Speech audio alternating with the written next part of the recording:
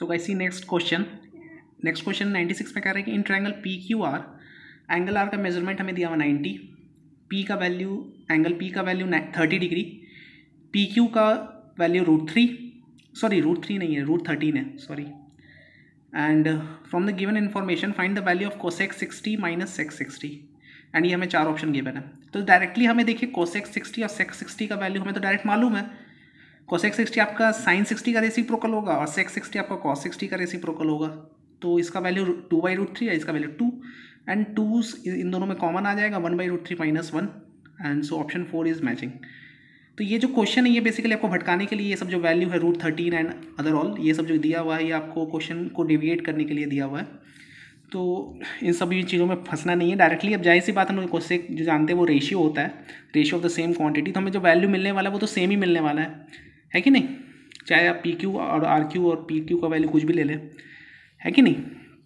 So option four is correct next question ninety seven में क्या है कि in right angle triangle A B C angle B का value 90 degree triangle A B C is in the first and second quadrant okay Ang triangle A B C is in the first and the second quadrant of the graph paper अच्छा।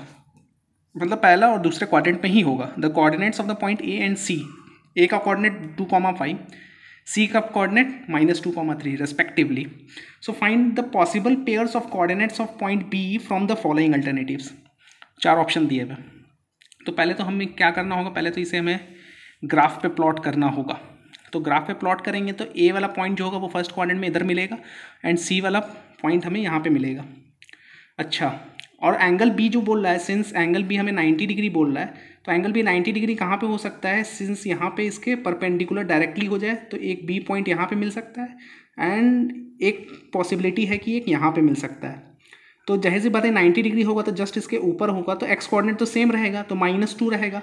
और ऊपर में जा रहा है, इसके just parallel ये वाला लाइन इसका डिस्टेंस फाइव है तो यहाँ पे हमारे माइनस टू कॉमा फाइव मिलेगा एक कोऑर्डिनेट एंड दूसरा वाला जो कोऑर्डिनेट है यहाँ पे, वो हमें मिलेगा यहाँ पे एक्स कोऑर्डिनेट तो सेम रहेगा, यहाँ पे टू है। तो एक्स कोऑर्डिनेट टू मिलेगा और यहाँ पे जो लाइन है थ्री का Y is equal to three का तो यहाँ पे हमें टू कॉमा थ्री मिल जाएगा। तो ये दोनों कोऑर्डिनेट्स मिलने वाले हैं। तो ये चेक कर लीजिए किस ऑप्शन में, ये ऑप्शन वन में है। So option one is your correct answer okay तो चलिए नेक्स्ट क्वेश्चन देखते हैं। नेक्स्ट क्वेश्चन है ninety eight choose the correct figure that has all the following properties A option में कह रहा है कि both the diagonals are congruent B option में कह रहा है कि it is called as rectangle यानी ऐसा कौन सा प्रॉपर्टी है किसी भी क्वारिलेटरल या ऐसे फिगर का, जो कि एक रेक्टेंगल हो perimeter of the figure is four times its length of the और ब्रेथ लेंथ और ब्रेथ ठीक है? या तो रोम्बस हो सकता है या तो स्क्वायर हो सकता है। लेकिन अब यहाँ पे कह रहा है कि डायगनल्स कंग्रुएंट होने चाहिए, यानी डायगनल्स इक्वल होने चाहिए तो रोम्बस के केस में होता ही नहीं है तो सिर्फ़ स्क्वायर के केस में होता है। तो क्लियरली ये ऑप्शन जो है, ये बहुत ही ईजी क्वेश्चन है, सबसे easiest one of the easiest question जो एनटीएससी में पूछा गया है, मेरे ख्याल से यही है।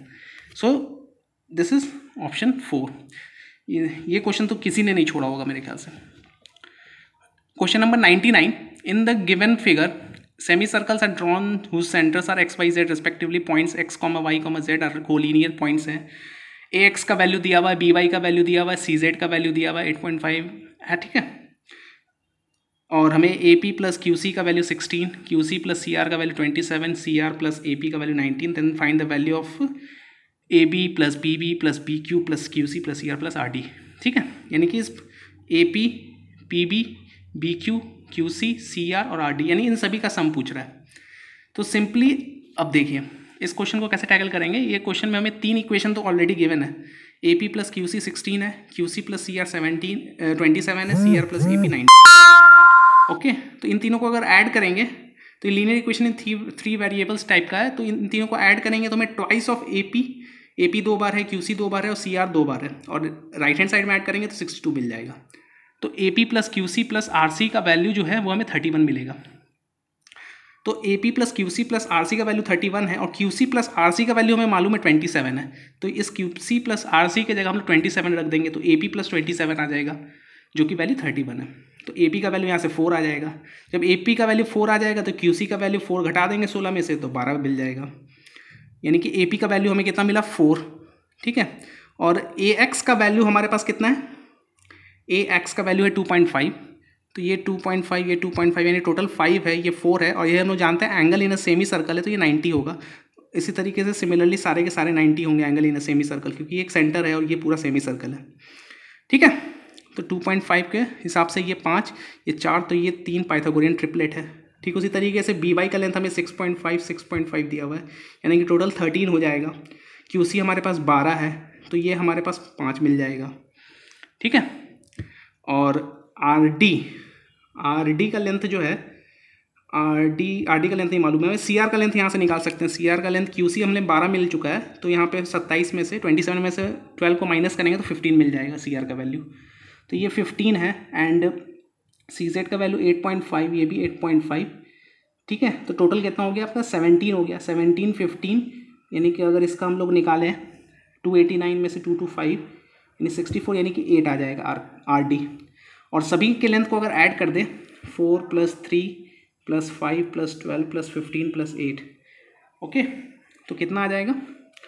पंद्रह, पाँच, बीस बीस और बारह और बीस बीस बीस चालीस और सात सैंतालीस। यानी फोर्टी सेवन आ जाएगा। Option four is correct okay तो चलिए नेक्स्ट क्वेश्चन देखते हैं। लास्ट क्वेश्चन है ये मैथ का सॉरी मैथ्स का। In the figure PQRS is a cyclic quadrilateral. If the area of the shaded part is 72 by 7 square units, then find the radius of the circle. Okay तो P Q R S एक cyclic quadrilateral है। तो यहाँ पे हमें cyclic quadrilateral ये given नहीं है रेक्टेंगल है कि क्या है, लेकिन डेफिनेटली ये स्क्वायर ही होना चाहिए। तो स्क्वायर होगा तो हम लोग यहाँ से रेडियस हम लोग निकाल सकते हैं तो पी आर इसका डायगनल को ज्वाइन करेंगे तो डायमीटर मिल जाएगा हमें।